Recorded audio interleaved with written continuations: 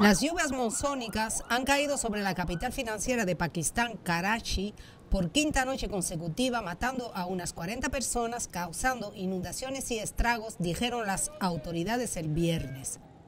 Desde el domingo han caído unos 30 centímetros de lluvia en la ciudad, obligando a las autoridades a trasladar a las personas atrapadas en las calles inundadas y evacuarlas a lugares más seguros.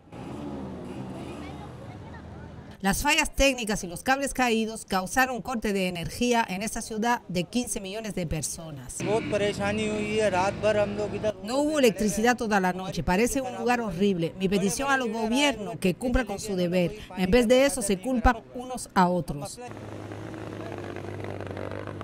Algunos empleados se quedaron en sus oficinas y cientos de vehículos estacionados fueron arrastrados por las inundaciones en varias zonas. Además, por lo menos ocho personas murieron a causa de la caída de un muro en una zona residencial de Karachi, incluidos niños que estaban jugando en ese momento. Todos los años, varias ciudades de Pakistán luchan por hacer frente a las lluvias de la temporada del monzón que va de julio a septiembre, lo que suscita críticas por la mala planificación.